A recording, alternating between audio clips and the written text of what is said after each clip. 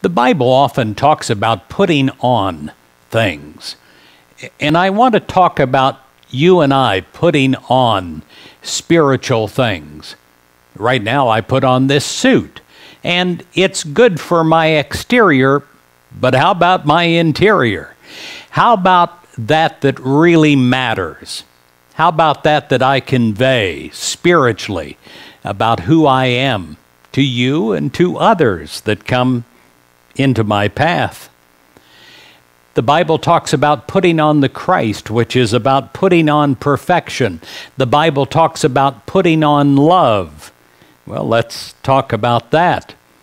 In Colossians 3, verse 14, put on love, which binds everything together in perfect harmony. I pray today that you put on love that as you're dressing in the morning, that you put it on, that you have it inside of you, that you are literally wardrobed in love. And every individual cell of your mind and your body are putting on the love of Christ.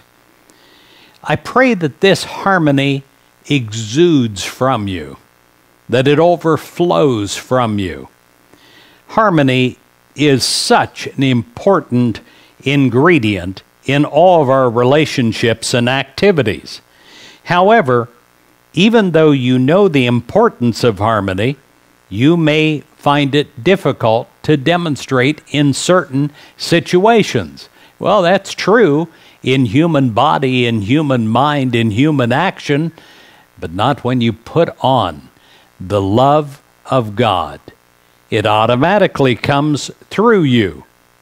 And if you have a challenge in communicating with someone who has strong opinions or tries to discredit the beliefs that you hold dear, or maybe you disagree with a decision that personally affects you, whenever you begin to feel out of harmony with those around you, it is important that you pause in the presence of God and remind yourself that you live in the presence of God's love.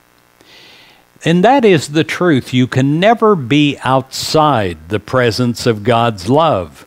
Realizing this, you move your attention away from seeming inharmony and you place it on the truth of God's peace and God's order. You rest in the assurance that the love of Christ within you attracts all that you need to express new harmony in your life. So today, you put on love. It binds everything in your life together in perfect harmony.